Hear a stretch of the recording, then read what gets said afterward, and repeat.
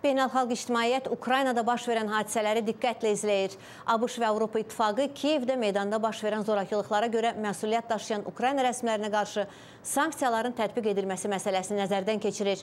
Ukrayna hadisələrini müzakirə etmək üçün tanınmış jurnalist Amerikanın Səsinin Ukrayna xidmətinin gündəlik Ças Time proqramının aparıcısı Miroslava Qanqadzını studiyamıza dəvət etmişik. Miroslava поступают тревожные. Kiyevdən həyəcan doğuran xəbərlər gəlir. Vəziyyət nə yerdədir? Müxalifət nə istəyir? Hökumət hansı güzəştlərə hazırdır? Я думаю, что происходит, э, в принципе, революция, гражданская революция. Мы не можем говорить о том, что э, мы стоим на грани э, гражданской войны, поскольку, в принципе, украинцы не идут против друг друга, украинцы идут против власти. Fikrimcə inqilab baş verir, özü də vətəndaş inqilabı.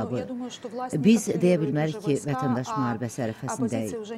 Çünki Ukraynalılar biri-birinə qarşı getmir. Ukraynalılar hakimiyyətə qarşı gedir.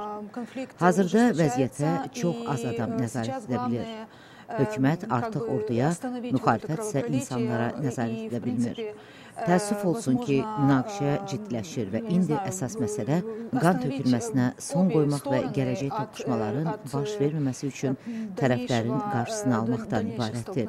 Müxalifət nə tələb edir? Bugünkü şəraitdə bu qədər insanın ölümündən sonra hökumət tərəfindən bu qədər insanın eybəcər hala salınması və öldürülməsindən sonra mən qorxuram ki, insanlar prezident və hökumətin istefasından başqa heç bir şeyə razı olmasınlar.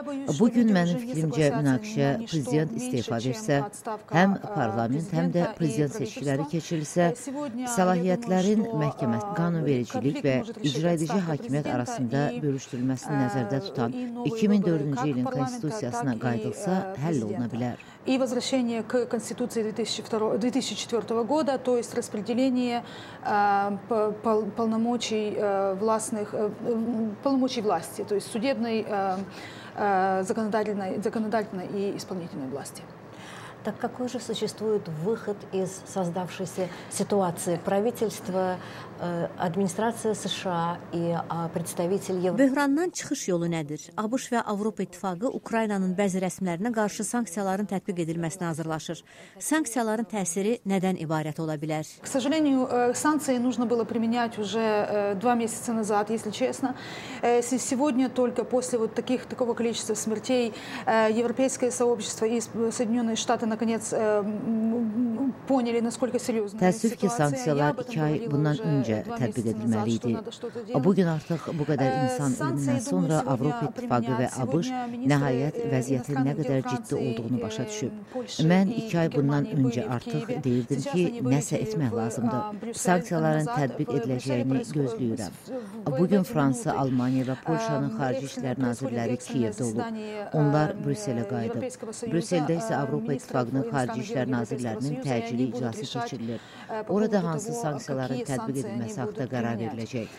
Sanksiyalar mütləq lazımdır. Sanksiyalar qan tökülməsinin qarşısını ala bilər və hökuməti dialoqa getməyə məcbur edə bilər.